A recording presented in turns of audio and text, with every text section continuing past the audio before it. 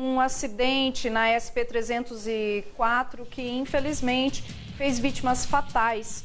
Neto, segundo informações, um casal, ambos com 70 anos de idade, perderam a vida em um acidente na SP-304 no KM 191 em São Pedro.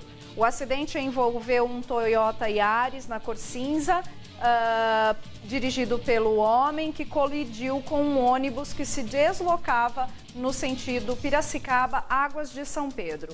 Infelizmente, o homem faleceu no local do acidente, enquanto a mulher, apesar dos esforços para socorrê-la, também veio a óbito no local. Motorista do ônibus realizou o teste do bafômetro eh, com resultado negativo para álcool, foi submetido às devidas investigações. Os corpos foram encaminhados ao IML de Piracicaba para exames necroscópicos.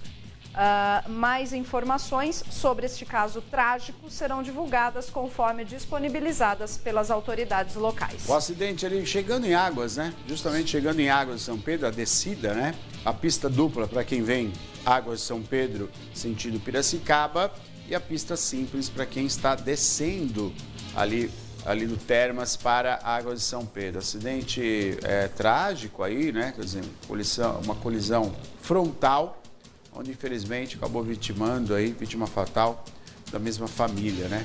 A equipe aí do Corpo de Bombeiros, também a GCM de Águas de São Pedro, Polícia Militar, rapidamente foram até o local. O local que é muito bem sinalizado, diga-se por passagem, né? Infelizmente, acidentes de trânsito acontecem, não se sabe qual foi a causa ainda, se foi uma questão mecânica, né, se foi uma questão é, é, do, do motorista, enfim. Tudo isso vai ser levantado após as investigações para chegar a real causa desse acidente.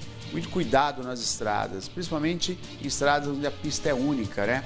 Quer dizer, você tem aí o vai e vem de veículos no trânsito, então tem que tomar muito cuidado. Infelizmente, um acidente gravíssimo na nossa vizinha São Pedro, entre São Pedro e Águas de São Pedro.